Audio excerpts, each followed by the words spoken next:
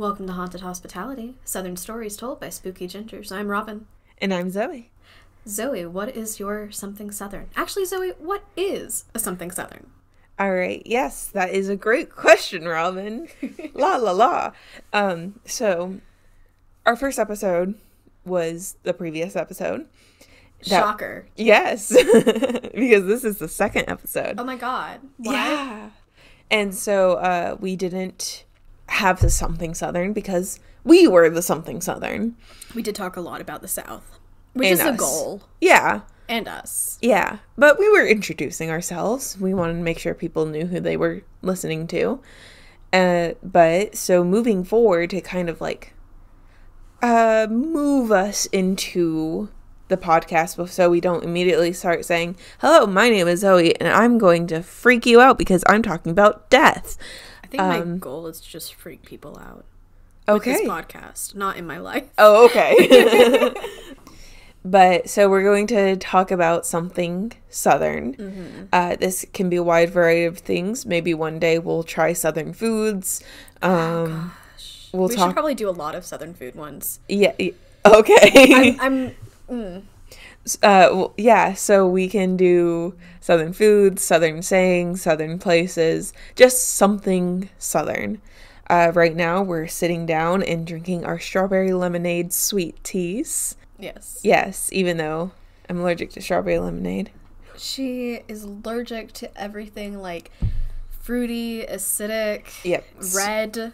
Yep. And it stresses me out because she just drinks it and eats it in front of me. Yeah. And I'm like, well, you know, I hope you survive when I leave. You know, I was sick last night because I was eating jelly beans. But like I told my mother this morning, I will die before I stop eating jelly beans. That might actually come true. Okay. Um, but anyway, something southern is not my acidic intolerance. well, then, Zoe, what is your something southern? So for something southern, I think we should talk about uh, a southern place that we have been to or would like to go to once the pandemic is over. Ooh. or potentially would like to learn more about. Okay. So, my place is a place that I'm going to pronounce incorrectly because the locals hate the way I say it. I've come a long way. It's New Orleans. Yes, I know. I used to pronounce it New Orleans. That's not why I made that face. and I know the locals call it like Nolans or something like that. Why are you making a face? I'll tell you later. No, no, just say it. My place was New Orleans. Damn it. okay, how about this? We both can talk about why we want to go to New Orleans. Hey, Zoe, we both want to go to New Orleans when the pandemic is over. Group Yay! But yeah, I want to go to New Orleans, um, New Orleans. New Orleans, um, because so Robin and I are both English people, as in, What do you mean by that? as in, I have a bachelor's in English and you Oh, have yeah. a bachelor's and a master's in, well, you have a bachelor's in English and a master's in creative writing. Yes, yes. So my goal is I would love to go go to New Orleans, um, live in the suburbs for three years, learn the culture, learn everything about it, and write a book that takes place in New Orleans because I feel like the culture, the atmosphere, the spookiness is just something I'm drawn to, and I would love to go there one day. So, your answer is a lot more in depth than mine. Okay. Wait, so have you ever been to New Orleans? No.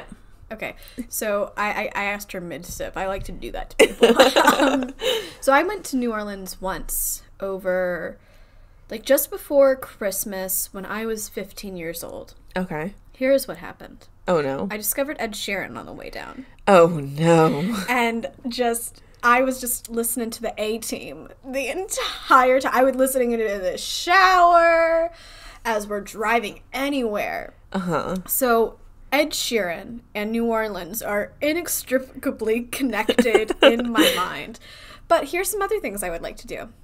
I would like to go to Cafe Du Monde again. So okay, You, Okay. have you, do you know what Cafe Du Monde I is? I know what Cafe Du Monde is. For those who don't know what Cafe Du Monde is, they have aka like five people in the world. They have great beignets. Everybody knows about their beignets. okay, fine. Anyway, normally it seems the line is like around the block for Cafe du Monde. Right. I went in the off season. Oh, genius. Well, I didn't. It was planned. I, I was 15, so And so when's the off season? Is it just not Mardi Gras? December Okay. during break. I went there, and so we just um, were immediately sat, and I had a chocolate milk, and I had beignets, and there were little birdies at my feet because we were like outside. Okay. It was like a tent thing, and Zoe it was just delicious. I enjoyed it so much. It brought me such joy. Now, unfortunately, last time I went to New Orleans, I was 15, so just like bear with me. Right. I was discovering like the joys of shopping. oh no. And so I just spent a lot of time trying to think about what I would buy in New Orleans. When really, I wish I had gone on cool tours. We did go to cool restaurants, so there's that. But I wish I'd gone on cool tours. And I mean, like, talk about a spooky trip somewhere. Right. New Orleans is the thing. And I did not do a ghost story there because I also went with, like, part of my family who might not have been super into a ghost story as well. Right. Um, but I would love to go. There's a vampire tour, and I remember my cousin. She kind of was like, I think making fun of like the goth people on the on the vampire tour. So she had me stand in front of her camera, so it wouldn't look like she was taking a photo of them. oh my gosh. The flash was on, so I just got a bright flash in my face, Oh. and I'm like, I want to go on the tour. um, but anyway, well, you loved know, her loved the trip loved everything about it uh, that was just a fun little tidbit but um, i would love to go to new orleans and have a spooky new orleans trip that also focused on beignets yes, That's beignets and ghosts. yeah Well, you know, there's like part of the city where taxi drivers aren't allowed to pick up anybody because there's been a genuine issue where they will pick up people and start driving them to their location and they'll disappear from the back seat because they just picked up a fucking ghost. what Yes. oh my god legitimate policy of these taxi cab companies is that you cannot pick up anybody from these areas at night because you're going to pick up a ghost. i love this Yes, that's how like ingrained ghosts are. Like if you go to New Orleans and you ask a local, not like some other tourist, blue tourists, um if you go and ask a local, "Do you believe in ghosts?" They're going to be like, "Do you believe in the sun?" You know, like it's granted, I'm generalizing and I probably shouldn't generalize, but it's ingrained in the culture there. yeah.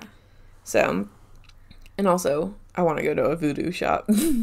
also the street musicians. Yes, the street musicians and the food. I had jambalaya my first night there. It was great. And like like um I've seen like a lot of like reenactments of years before where they like will show you how people lived in New Orleans back in like the 1800s and it's just so fascinating because they use the same language which is Wait, Look, what do you mean oh, oh like- like, it's a different language than I have a hard time understanding English. I had no idea what these people were speaking. and so, um, not that I've seen it myself, I've seen it in YouTube videos and stuff like that. But it's just, it's a place I really want to go to. awesome Well, zoe yes. do you have a ghost story for us No. oh well Okay, that's, That's the, the end of the episode, yes, yes, I do.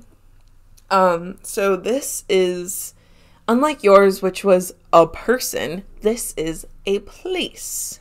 Maybe next week we'll do a thing. Just complete all the noun And categories. No, no. The fourth episode will have to be an idea. Oh, you know, they didn't mention that to us in elementary school because they didn't want us to think for ourselves. Right, yeah. So that was introduced in high school. Mm, I zoned out, I guess. Anyway, so yes. Um so my father happens to live in the town that this takes place. So I've seen this area, but I've never been there myself. so wait, can I clarification question? Have you looked at it wistfully from a distance? Yes, I oh, was okay. I was in a car and I was having one of those like movie montage moments where you look out the window and you put your hand against the window and you just looked wistfully while music plays. And like the other person side eyes you. Yeah. Yeah. Yeah. yes. So I've seen this place from a distance. This is, you probably have heard of it, the Biltmore. Man. oh shoot! Yeah. Yeah. Okay. Yeah. Oh. Oh. That makes a lot. Of, this is something you can wistfully stare at from a distance. Oh yeah, definitely. Okay. Cool. So those of you who don't know, so this is in Asheville, North Carolina. Um, I when I was googling, I did have to specify North Carolina because there's multiple Biltmore estates. Because Vanderbilt, um, the man who built it, was fucking rich, and I fucking hate his guts because of it. I'll get into it, but um, so this is one of his many estates. And so this is the one in North Carolina, um, Buncombe County. Okay. Uh, it's right outside of Asheville, technically. So it's the largest privately owned house in the United States. It's about 180,000 square feet. okay. So for context, A traditional house is about 1,300 square feet. So 1,300. That's a 3 2. At least in South Carolina, because I work in real estate. Um, in South Carolina, a traditional house, a three bedroom, two bath house, is 1,300 square feet. so this is 180,000 square feet. this is over a hundred times the size of a normal house. Yes. Okay. Yes. So it's huge. For context, I have been to the Biltmore. Okay. Maybe that. Okay. Okay. I should have. I should have mentioned that at the beginning. So there's the Biltmore estate and then there's the town of Biltmore. Yeah. So um the town of Biltmore, I mean it's not actually called Biltmore like if you're addressing an envelope, you won't put Biltmore, North Carolina, but it's like the uh basically when he was building the estate, it was so expensive and resource heavy in building it that he started a construction company nearby, a lumber company nearby, a steel mill nearby, so he wouldn't have to import everything. Like, I mean, a railroad was built to this location for the building of this specific house. Do we know why he wanted to build it in this area specifically rather than one that would already just it would not require that much infrastructure change? Yes, we do know. Oh, okay. He came into town several times to visit his mother and he fell in love with Asheville. And so he decided to build a little mountain escape so that he had somewhere to stay when he was visiting his mother.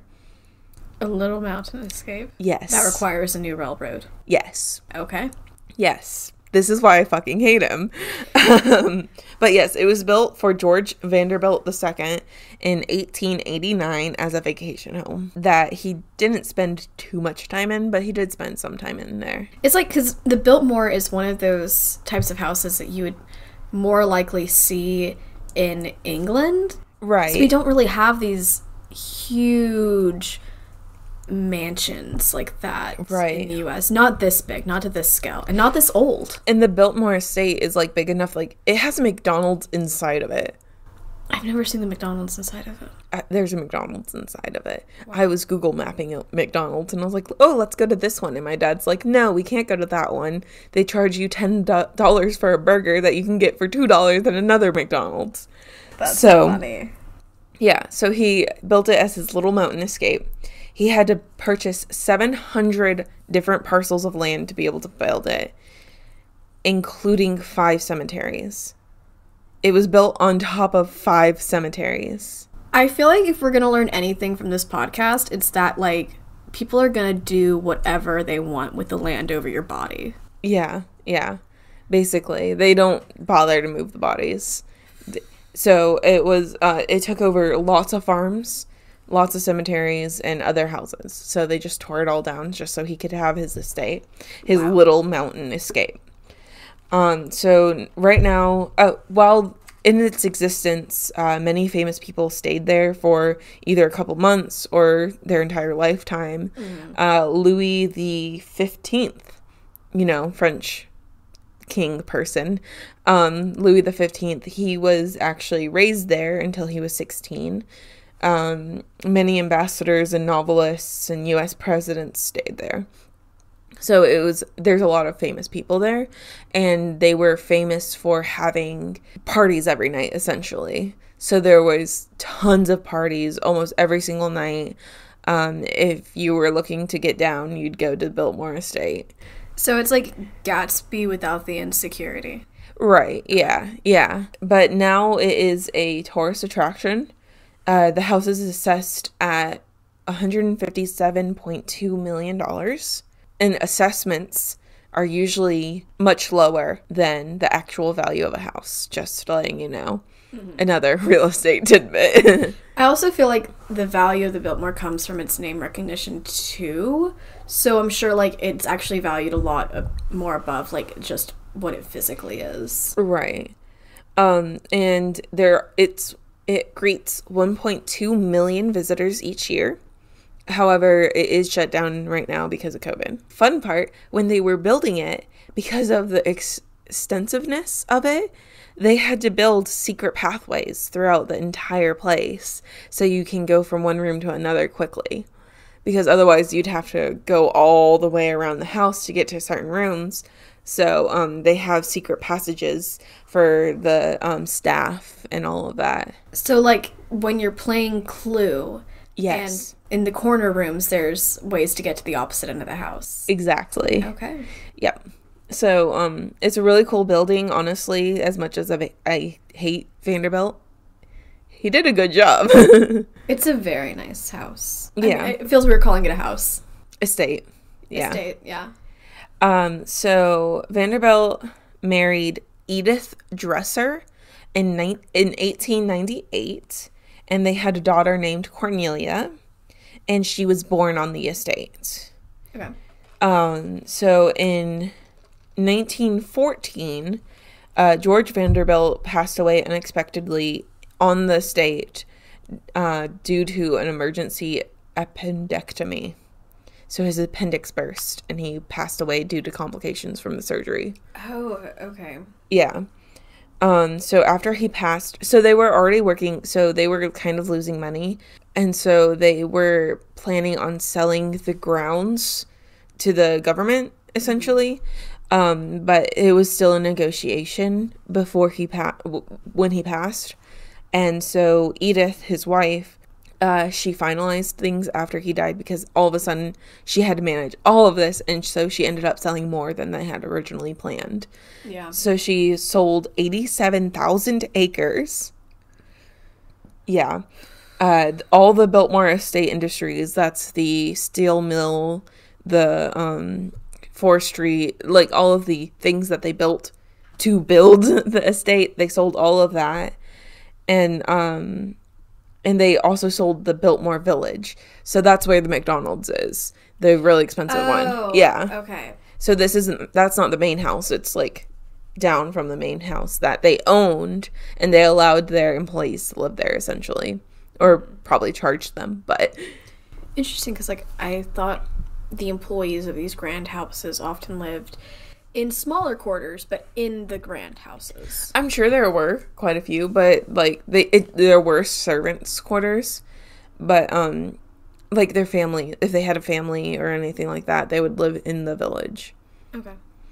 Um, so in 1924, 10 years after Vanderbilt passed away, uh, Cornelia, his daughter, uh, married John Francis Amherst Cecil, four names, and they lived in the estate uh, full time. So it was no longer a holiday house, it was a full time house. And uh, Cornelia gave birth to her two sons in the same room that she was born in. So during the Great Depression, um, Cornelia and her husband opened the Biltmore to the public for tourists. It briefly closed during World War II, but it did reopen again. But um, Claudia and John were divorced in 1934, and Claudia left, even though it was her house. So she left to never return again. Did did did John stay? And John stayed. He inherited the house until he until he passed away in the house in 1954, 20 years later. I, Oh, uh, that yeah. blows. yeah. So she, Claudia left, and John inherited the house until, and he stayed there, and he passed away in the house.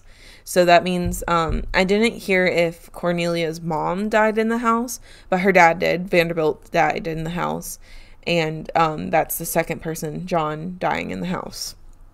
And then the oldest son stayed there. He didn't get a name. So the oldest son didn't get a name. Um, he stayed. Wait. Did he? he Did he survive infancy? Yes, yes. They both survived infancy. So it's not that he doesn't have a name; it's that we don't know the name. yes. Okay, it's just I was just picturing like the twenty-year-old man being like, "Okay, no name. we didn't like you." but uh, their oldest son stayed there until 1954 um, and he turned the house into a museum but then the younger son Willi- william I, I thought you were like looking at the door because Kari was coming home or something, but no, you're just chewing away from the mic, Yeah. which I appreciate, but it's hilarious. If you can hear this, Zoe later, because Zoe's gonna do our editing. I um, I apologize, but also there's cheese puffs in front of me. So, um, William, the younger son of Cornelia, uh, he gets a name. Yes, he gets a name. uh, he returned to the state in the late 1950s when it hit financial trouble, and then Claudia died in 1976, so he inherited it fully. So um, it's now in the name of William Cecil in the years 1976. Um, and I'm guessing his older brother just was like, "You got it now," and went away. That's interesting because like there was another William Cecil, but like he was just like a political guy in England in the Elizabethan times. Oh, Just fun fact. The Fun name, fact. The name. The name. the name. and then in 1955, uh, William turned over the estate to his son, William Jr., who actually died in 2017, unless I'm getting the junior and the senior mixed up. It was very vague. I ran into the same issues with you. Um, With but the Raymonds and the Williams. Yeah. and yeah. and then, um, so William Jr., I believe it's William Jr., and his, he died in 2017, and his wife, daughter, and son all share ownership. So, like, his wife owns this part, his daughter is the head chair of this part, and his son oversees this part. Okay. So they split it up. So that's who owns it now. What would you do if you owned the Biltmore? I'm not ready for that question. Oh, okay. Sorry. Sorry. No, I, I, I mean, get really fucking lonely. I think I would sell it okay. and donate some of the money to charity. Honestly, my gut reaction was to say make it like a homeless shelter. Are we good people, Zoe? I don't what? know. but so that's the history of it. it. Um, several people died in the house, um, and yeah. So that's what the Biltmore Estate is. Now, it wasn't made into a museum, like I mentioned in the 1950s, and it's still a museum, so you can go in at any time. And my favorite part about it, now that I've been there, um, is that they have mannequins, headless mannequins wearing period clothing. They do. I I forgot about that. I'm remembering that. They have hundreds of them all throughout the mansion, which i- is said to give it like a really creepy feeling. Um, maybe like I, I was always there like in the middle of the day, Mm. so probably not the same vibe. Uh, fun fact. Can I give you a fun fact? Sure. The beds are really short because they were all short. You always, Okay. you always forget that people were a lot shorter very recently. Right. Yeah. So it's just these grand beds, and I'm like, I'm five two and a half. I would possibly need to scrunch up a bit. Yeah. Maybe not fully, but yeah. Interesting. Okay. Well, they have short beds and headless mannequins everywhere. Ooh. So let's get into the haunted shit. So I thought we were calling it spooky shit. okay, fine, spooky shit. Um, we said the name of our podcast at the beginning, right? Haunted Hospitality. We always start with that. Okay. okay, so like one of my biggest concerns, prelude here. Prelude? Pre, pre, Pre- no, pre- I think no. maybe you're right. Pre, prelude or prelude? Prelude. Prelude? You were right. It Okay. just sounds weird. Maybe I'm not even using the right word. Segue here. I'm gonna segue here. Yeah, that's And- probably the right word. Yeah. and um so like my biggest concern, I love haunted hospitality, right? And it's too late to change it. Don't you dare cha- make me change it. The minute But- you said it, I was like, that's the name of the podcast. Yes. But you know what HH stands for? Headless Horseman? Heil Hitler. Oh shit. Yeah, and like eight eight and HH are constant like are used as Nazi symbols, like dog whistles, you know. Okay, So well, we're I'd like to- go by our initials. I'd like to take this moment to say we are not Nazis. I did not know we needed to clarify, but yes, we are not Nazis. We are not Nazis. and we're not going to refer to ourselves as HH. no, it's I'm- always going to be haunted hospitalities, and we're the spooky gingers. Yes. Mm, I. Yes, we are. Sorry. Sometimes I get confused over like if we are spooky stories told by Southern gingers or Southern stories told by spooky gingers, but I think we're Southern stories told by spooky, Spooky gingers, gingers. Yes, because I refuse to claim the Southern title. which I did not know about.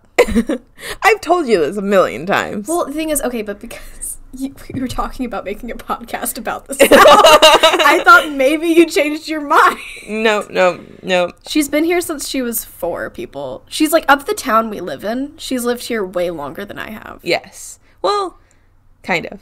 I lived in Lexington, and then I lived in Irmo, and then I lived in is the Columbia. It's the same place. it is the same. No, wait. First it was it was Lexington, then Irmo, and then it was Cayce, and then it was Columbia. Zoe, this is the same place. Anyway, Sorry. so getting into the spooky shit. Yeah. Um, at the Biltmore, I put hotel for some reason. Haunted hospitality. Woo! I was kind of worried people would think we were about hotels. Did I say it in the first podcast? I don't, I don't know. think so. I'm I'm kind of worried people are gonna think we're about hospitals. What could possibly Hospital. You don't talk about hospitals but hospitality. You hospital. It's Nobody. Th- we're southern. if we talk about a hospital or a hotel, it's because we choose to. okay, and it's a pun on Southern hospitality. Yeah. Yes. And we couldn't do Southern Hostility because that's a band. No, it's an album. To be honest, I like this better, Yeah, me too. Yeah, I like the alliteration, except for the HH part. except for the HH That part. It was unfortunate. Very unfortunate. Anyway, spooky shit. Yeah, yeah. What about the Biltmore? What's spooky? um, so it there's the traditional like cold spots, um, apparitions, uh, sensations of being pushed down the stairs. You know, traditional. Wait, are, Um, are people? These people actually pushed down the stairs? Like they feel like somebody. So they feel like somebody's like pushing them down the stairs. Like nobody's fallen down the stairs, but they feel like somebody's like pushing them. Oh, that's not good. Yeah, for some reason the stairs are like a hot spot. Like they apparitions appear a lot on the stairs and I have a feeling like it's because there's this theory and I'm going on another segue, but um I like segues. Anyway, um like the motor The I know, I know. I'm trying not to get us on like a third segue on top of the second segue, so I was going to say something and then I decided not to.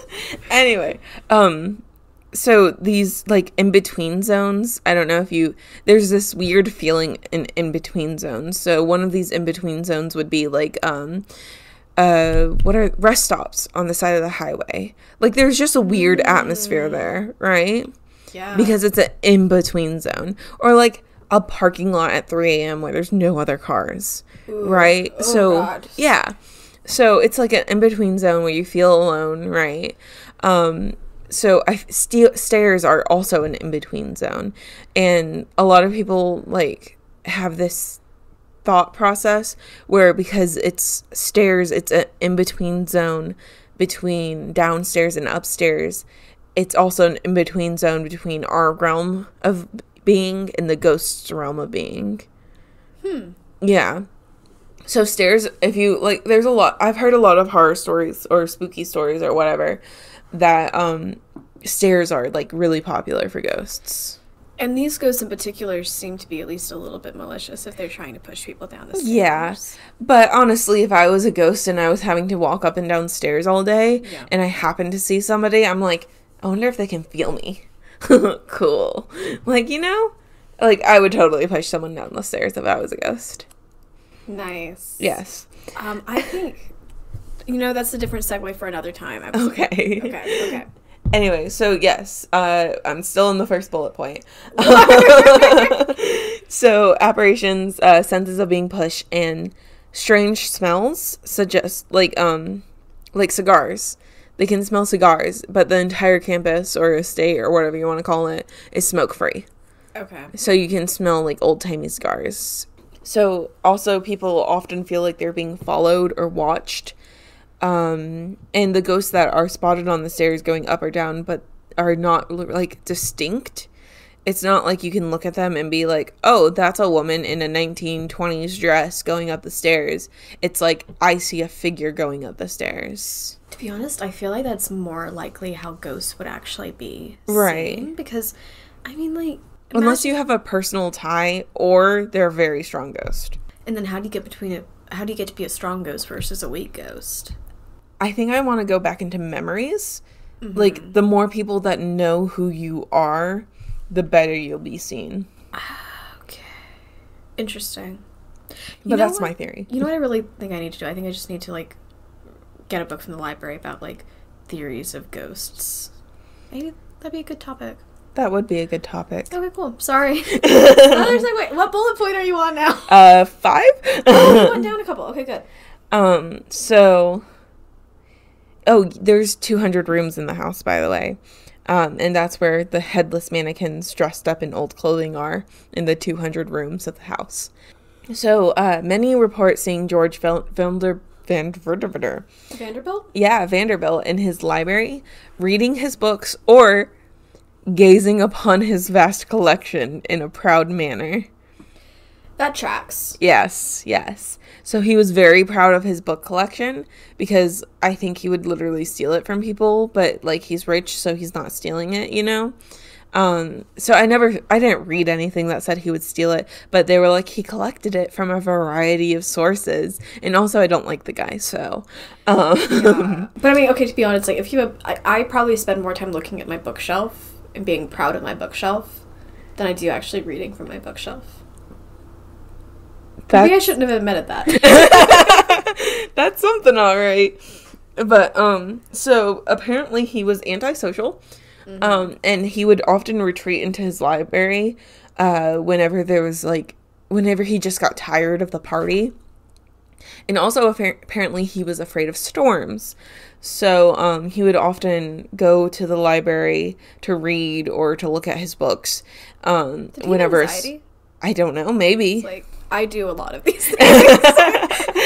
but uh, whenever he saw a storm approaching, and so now you can see a shadowy figure in the library that looks like it could be George Vanderbilt, um, especially when it's storming.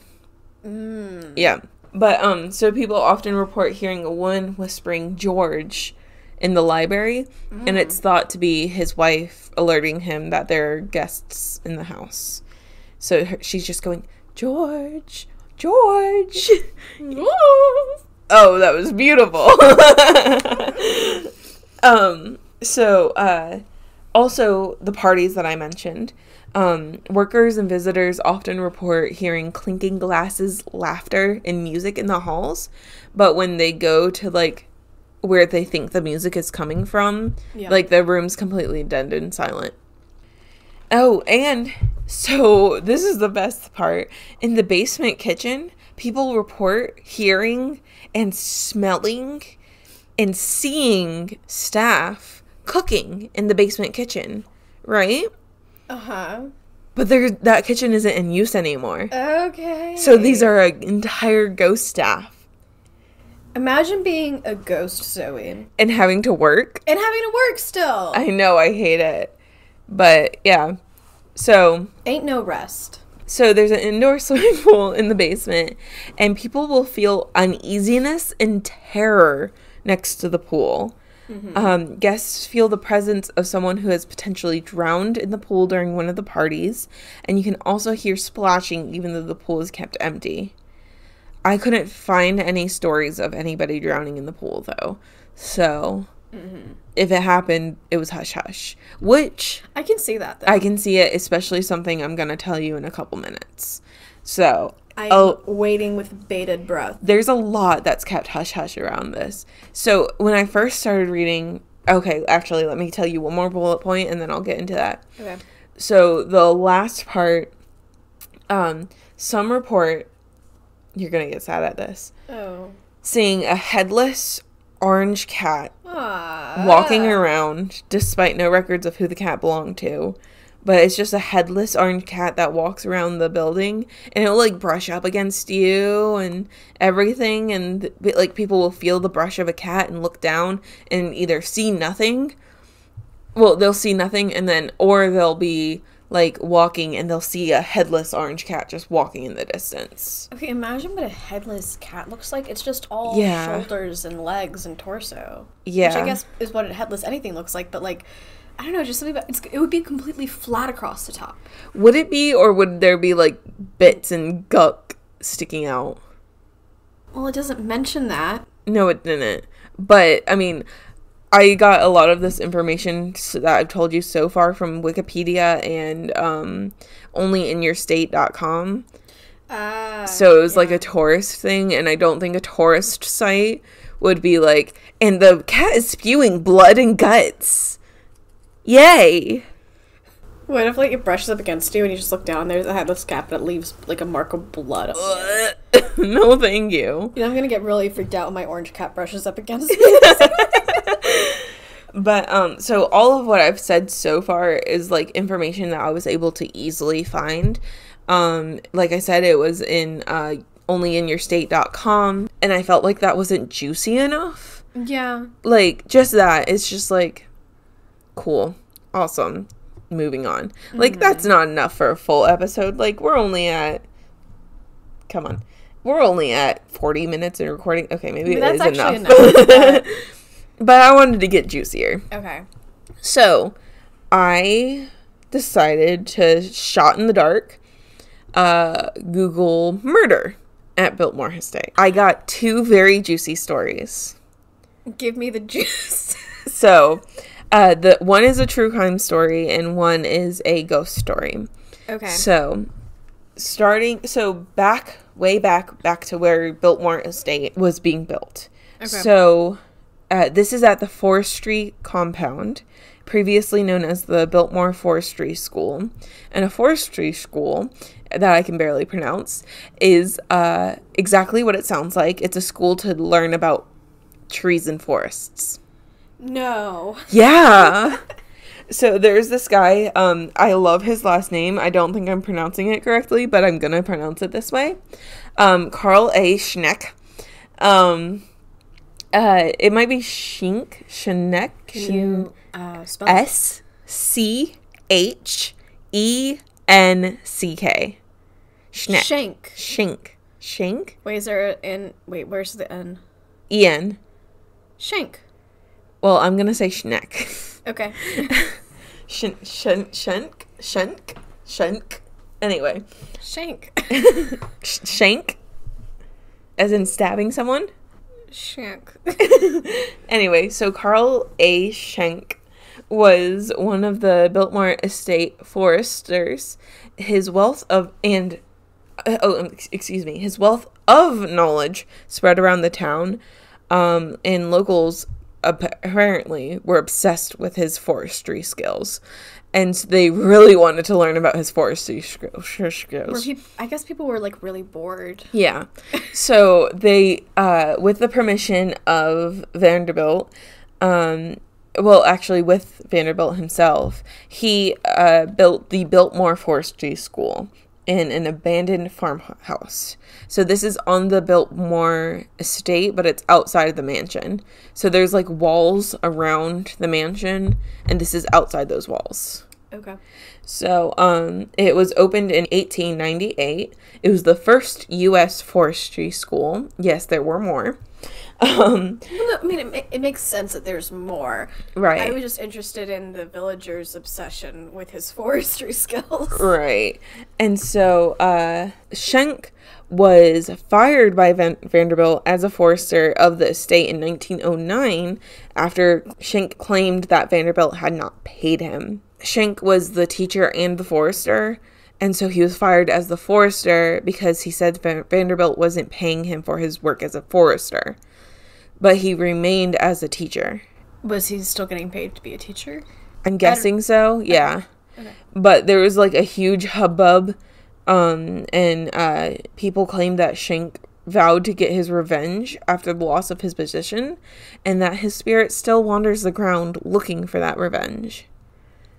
Okay. But the forestry school was actually closed in 1913, and after it was closed, the place became known as a whorehouse. Oh, okay. So um, it started off because it's a fairly secluded area um, because it was in the middle of a forest because it was a forestry school. And um, so people started going, sneaking off there to have sex, but um, it became a brothel Okay. essentially. So a bunch of uh, prostitutes would stay there and hang out, and their what uh, this website called them her Johns would come and visit. Yeah, so it was a whorehouse, and uh, it was unclear if Vanderbilt knew it existed. Some places claimed that he frequented there, and others said that he didn't know. I feel like he would probably know. And so the fact that he probably didn't do anything about it probably meant that he might have frequented it. maybe but um so in 1920s oh in the 1920s one of the prostitutes was actually murdered by her client. And um those who are on, so you're it's not open to the public but of course people go anyway. And um people who go onto the grounds claim to hear her singing. So you can hear a woman singing throughout the whorehouse. There were also secret hangings that would take place in this area uh, up until the 1950s Hangings. hangings. Um, so some claim that Schneck was hanged there, hung, Hanged. hung, hanged. Men are hanged, meat is hung. Um, but some say he was hanged there, but there's no reason for him to be hanged. I mean, given the time period, I'm guessing it might have been a lot of lynchings. Yeah. Um, just, but I couldn't find many details about who was killed there or not. Um, but I mean, it's a hanging, and it was all the way up to the 1950s, and it's in a southern area. And I'm sure there was a large black population because there's no way the Biltmore Estate was founded without enslaved people. Wait, when was it built again? The 1890 something, Mm, yeah, uh, it was. sla- 1889, excuse me. slavery was abolished by that point. Oh, okay. Well, that's my U.S. history and knowledge. but anyway, but hangings, you know, strange yeah, fruit. Yeah, yeah. So, um, so there's a lot of phenomena, like ghost phenom- phenomena. Banana. Sorry, I probably can't legally do that. Phenomenon. Yeah, phenomena. Um, so you can see lights turning on and off in random windows, despite there being no electricity in that place. Oh. Um, So, if- like, candles lit. No, it looks like electric lights. There's Peop- no electricity. It's Huh. ghost phenomena. Phenomena. um, but people driving by would see things in the windows. And then uh, doors will open and close by themselves, uh, f- according to people who venture inside illegally. And uh, the building is very cold even in the summer. They're talking 40 degrees Fahrenheit even in the summer in North Carolina. Um, and they will see shadowy figures moving around, and guests will feel uh, presences leading to them fleeing in terror. And uh, one specific visitor claimed to see a tightened noose hanging from one of the rafters, and so he ran downstairs and found a toilet filled with blood. Wait. I'm sorry. Okay, so in the rafters, he runs downstairs. Now, we already mentioned that stairs are like this. Space. Yes, yes. He runs downstairs, finds a toilet filled with blood. That feels like one unlucky guy with two different hauntings going on. Yes, yes. Ooh. So that's the forestry area. Um, lots of ghosts walking around there. So, but it's illegal to visit, so there's like less information on it. So, I know what we're gonna do. I'm just kidding. We're not gonna do that. We're not gonna do for that. legal reasons, that is a joke. For legal reasons, that is a joke. Um, so this next one, I didn't believe. This is the true crime part. I didn't believe this existed Okay. because I couldn't find any information on it from a credible source. I found one um, there's this Facebook called uh, Facebook Cut Down. I'm sorry, it's a, a Facebook page, and it's called Cut Down the Murders at the Biltmore Estate in 1922. I tried my darndest. So this Facebook page posted like screenshots of um what's that thing called where you can the microfilm I don't know what you're talking about. you can go to libraries they've like saved all these old newspapers Oh, in tiny versions yeah, I think that is what it's called. and like you can look through a machine to read them Yeah. so he has screenshots of microfilm of a lot of uh like snippets of a news story and um it it's very confusing to follow and I couldn't really tell what was happening. However, uh, I could pick out a few names and so I was able to google like the death of this person, the death of this person, and I was able to actually find a poorly translated, not translated as in from one language to another, but from a newspaper clipping to text that you can copy and paste on the internet. yeah. Um Tr- uh, transcribed. transcribed, yeah. Um post. And so it was like this entire newspaper, and it was like a very long single column, no bigger than two inches on the screen, and it had typos, you name it. So um, I apologize if it seems a little like out of order. So basically, what happens is what happened was, um, so also before I say this, they call them boys. There's five boys that they're talking about. I get ages on two of them. One's 24 and the other one's like 21. 20 exactly. So these aren't boys. These are these are grown men. These are not boys, but everybody calls them boys because Getting they're the victims. Getting real Ryan Lochte vibes.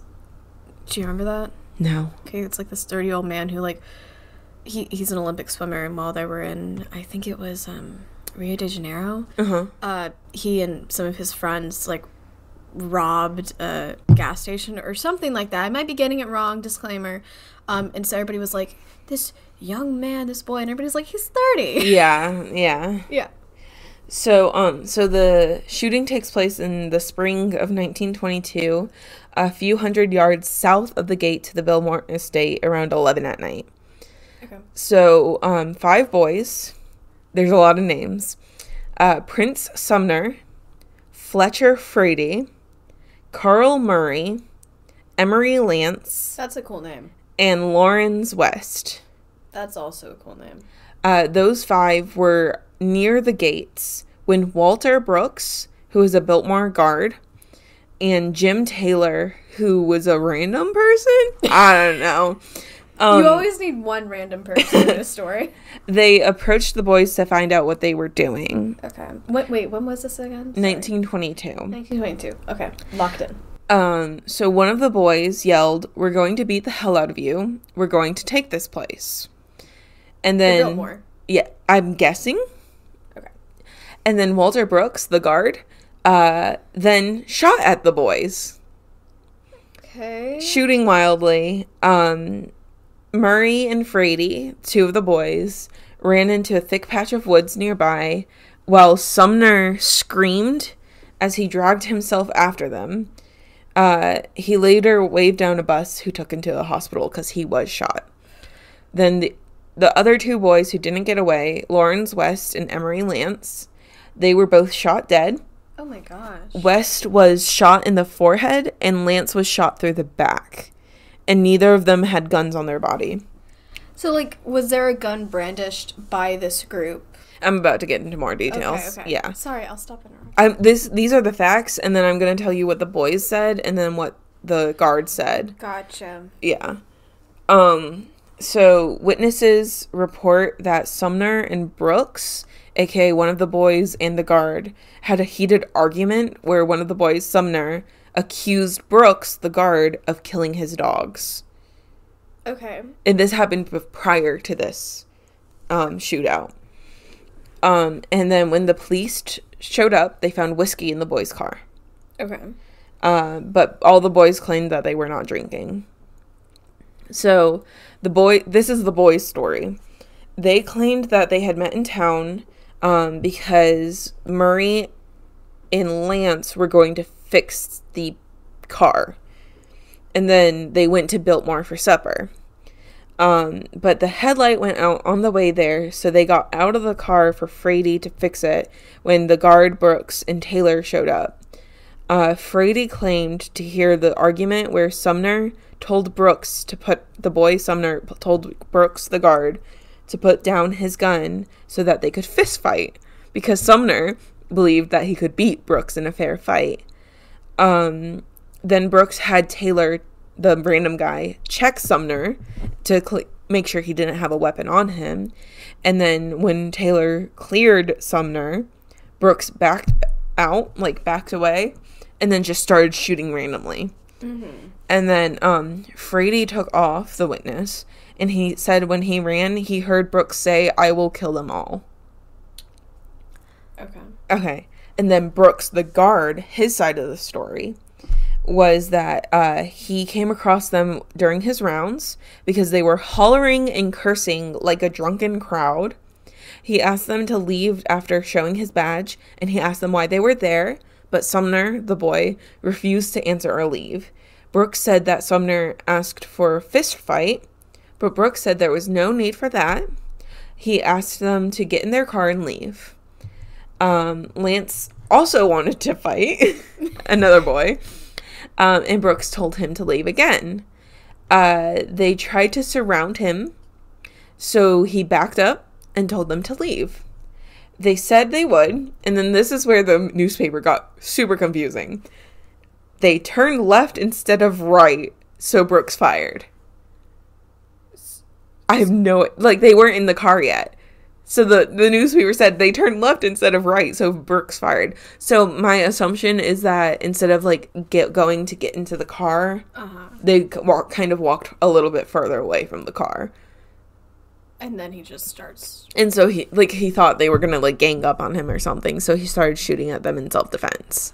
What does the witness? Did the witness who was with the? Yes. Okay. So Taylor says that Lance had a weapon, but he didn't use it. They said he had an iron, but I don't think he had a like cl- clothes straightening iron with him. I think it was like An iron bar. yeah, like vernacular for that. Um, and he did, but he didn't use it. And he also saw that Sumner threw something into the woods before the shooting. Taylor said that he didn't see much because it was dark and he wasn't like up front like Brooks was. Taylor was very useless.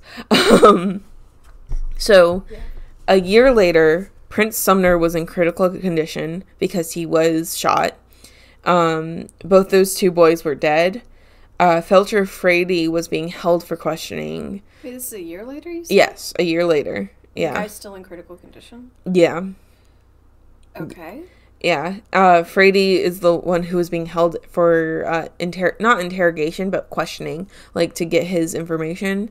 Um, and then uh, Carl Murray just disappeared. One of the boys just disappeared. He never got was seen again. He So just that- he just disappeared into the woods. That makes me think he probably died. or saw something or he like because it it the whole thing was did the boys start the fight with guns? Because uh, taylor did say that sumner threw something into the woods. But and if you so threw something into the woods, it means you're not gonna use it. well this was after they were shot at. So like okay. he was shot at and so while he was running away he threw it into the woods. And so like if you believe brooks was just defending himself these are five rotten drunk kids um all above their 20 um and they were trying to fight him. They were being disruptive. They were going to kill him. So he had to shoot into self-defense. If you believe the boys excuse me if you believe the boys story they were oh no we had car trouble. And then brooks came out of nowhere and we were completely innocent. And he just shot us like a madman so i feel like the truth is somewhere in the middle Okay. um i do think that the boys were drunk and that they uh probably were up to no good Up to no good sounds so like Harry Potter? Yeah. Oh. or Harry Potter. But um, I do think that they were up to no good. But I don't think they had guns on them. I think they were drunk and wanting to fight someone, Mm-hmm. and so he shouldn't have shot them. I don't think they were like yeah, you don't just open fire. yeah. So Brooks was actually locked in county jail pending an investigation.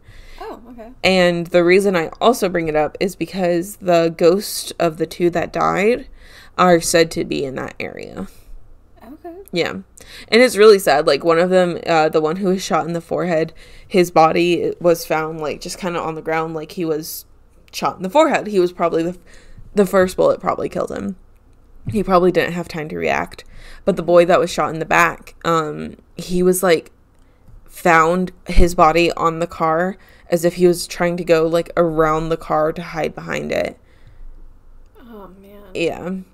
And then, of course, uh, Prince Sumner, who was shot dra- and had to drag himself into the forest to get away. Um, and then held down a. He was still in the hospital. And then one of the boys just disappeared. And Frady was being held for questioning. Man, Yeah. that is an intense story. Yeah. But that is the ghosts at the Bel- Biltmore Estate and the 1922. Oh, the thing about that story, I Googled everywhere to find this and I found several links, but every single one of the links that I clicked, it said, sorry, doesn't exist. Sorry, doesn't exist. Sorry, this page has been moved to somewhere else.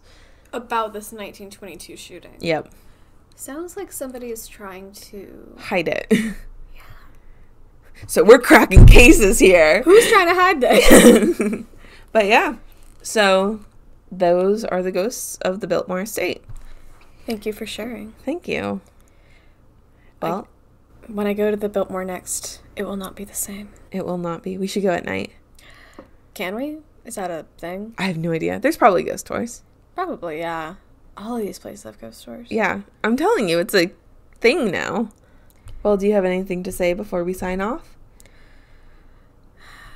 I have to say this. What? Thank you for listening to our podcast today. If you liked this episode, please like and subscribe and review. And if you want to get in touch with us, please email us at Haunted Hospitality Podcast at gmail.com. Also, if you want to look at our show notes and see our sources or just give us a visit, you can find us at www.hauntedhospitality.wordpress.com. You can also join us on Instagram at Haunted Hospitality or Twitter at Haunted Hosts. We would love to see you there. Stay spooky.